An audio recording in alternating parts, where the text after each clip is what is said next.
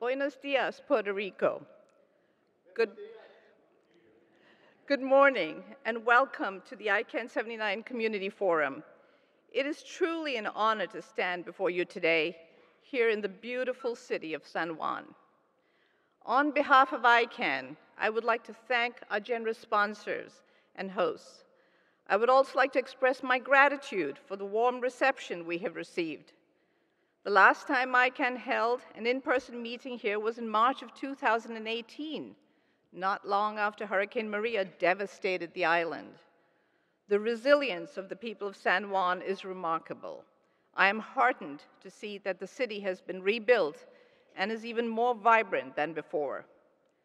We are honored here to be joined by dignitaries from the Senate, government and academia representatives, the CEO and president of .PR, esteemed guests, and the internet community. Whether you are here today in person or joining us online, your presence underscores the strength of our shared commitment to the future of ICANN and to ensuring a secure, stable, and unified global internet. As we embark on the first ICANN public meeting of 2024, I want to first reflect a bit on last year which was defined by changes and major milestones for ICANN. 2023 began with the appointment of a new interim president and CEO, and September marked ICANN's 25th anniversary, which we celebrated together at the annual general meeting in October. Throughout the year, we navigated the dynamic and complex digital landscape to fulfill our mission. Perhaps the most significant development for ICANN last year began when the board formally initiated the process to open the next round of new generic top-level domain applications. Months of collaboration ensued, involving the community, organization, and board, resulting in significant progress towards the launch of the next round in April 2026. This ambitious endeavor underscores our commitment to expanding the domain name system with inclusivity in mind.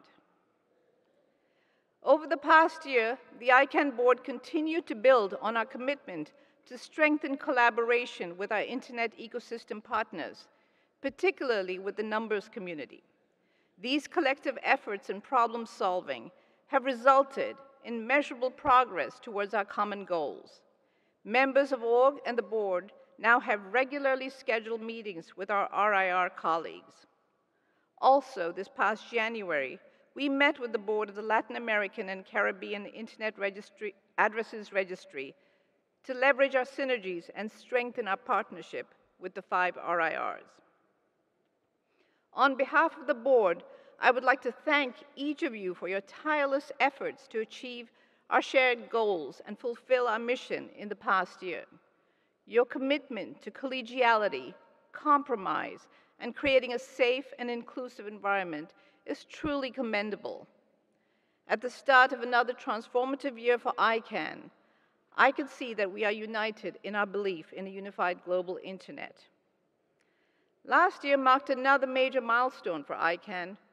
For only the third time in the organization's history, the board took the first crucial steps in the development of ICANN's strategic plan for fiscal years 2026 through 2030. The strategic plan serves as a roadmap for the next five years and consists of specific, tangible objectives that will enable us to continue to fulfill our mission while striving towards our collective vision for the future. In other words, the strategic plan is the foundation for everything we do. However, charting a course for the next five years is not for the board to undertake alone.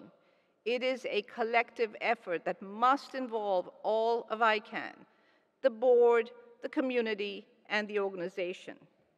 Your unique insights are essential for developing strategies that will help ICANN anticipate challenges and seize opportunities in a rapidly evolving internet landscape. Many of you are already actively involved in the strategic planning process, which is still in its early stages. As the process advances, I encourage all of you to review what we have done so far and to contribute your ideas and feedback. In particular, I urge you to participate in the strategic planning session that is happening on Wednesday. The board is working to fulfill its critical responsibility of selecting ICANN's next president and CEO. Last year, we held listening sessions with stakeholders from across ICANN and the Internet ecosystem whose input helped shape the candidate profile and position description. I mentioned a year ago that ICANN is at an, at an inflection point and faces a gamut of challenges. In the next president and CEO, we are looking for an individual with transformational leadership who inspires action to effectively and relentlessly execute on multiple fronts and will modernize the organization and its processes, implement policies successfully and in a timely manner, build even stronger partnerships within the ecosystem, reshape ICANN to be an exemplar multi-stakeholder model, and work effectively on the global stage with other world leaders in this critical space to reaffirm an inclusive multi-stakeholder internet governance paradigm. The search process is ongoing but well advanced. It has yielded an experienced and diverse candidate pool from across the globe. The board is diligently working towards identifying the individual who has the right temperament and balance of personal, management, and technical skills to lead ICANN during these exceptional times and into the next chapter of its journey. Indeed, we achieved much in the past year with the culmination of many areas of work. However, there is no time for rest. We face numerous challenges ahead and we must remain at the ready. Sustaining a commitment to timely project delivery is crucial, and recognizing the efficacy of collective effort will propel us further and faster. As we navigate to pursue our goals and navigate our own challenges, we must also recognize the mounting pressures on the multi-stakeholder model of internet governance. This model, driven by collaboration and shared responsibility, has produced a consistently stable and functioning domain name system for over 40 years amid ex exponential growth in internet traffic and users. Multi-stakeholder governance has allowed the internet and the digital economy and services to flourish while protecting it against unilateral decision-making and top-down control. This model empowers participants from all sectors to come together as equals to share their views and work towards consensus-based decisions. This broad inclusivity and democratic participation has yielded a system of voluntary standards, best practices, cooperation, and trust. In 2005, the international community, including all governments, accepted the multi-stakeholder model of internet governance during the World Summit on the Information Society. They recognized the vital roles of all parties in maintaining and evolving the internet as a global resource. Next year, the United Nations will review the WSIS outcomes, and the UN General Assembly will have the opportunity to reaffirm and improve on the achievements of the WSIS. The discussions have already begun amid the consideration of a proposed global digital compact, which is expected to be adopted at the UN Summit of the Future in September 2024. At this watershed moment for multi-stakeholder internet governance, ICANN, along with our technical partners, must showcase the strengths of this multi-stakeholder model and contribute our insights to the broader global conversation about the Internet's role in shaping a sustainable and inclusive future. As we embark on this new year, we must continue to be bold, resilient, and agile.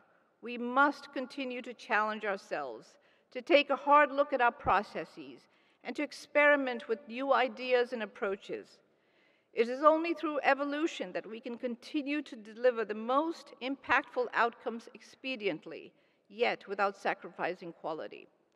We are strongest when we work as one, and together we can overcome any obstacle we find in our way. The current times are complicated. the global geopolitical landscape is fraught with aggression. As is typical with such situations, unthinkable collateral damage is done to innocent and good people from different walks of life, from different faiths, and from different ideologies. Emotions and sensitivities are high. I urge all participants, whether you are here in person or online, to focus on the work that needs to be done here at ICANN 79. Please rise above the fray and reach out uh, to each other in good faith and on the grounds of our common humanity.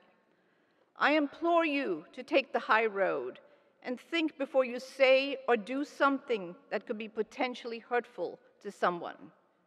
We are here to further the mission of ICANN, and I ask that we immerse ourselves in the work and spirit of that mission. At this community forum, the board is looking forward to the discussions, collaboration, and insights that will unfold over the next few days.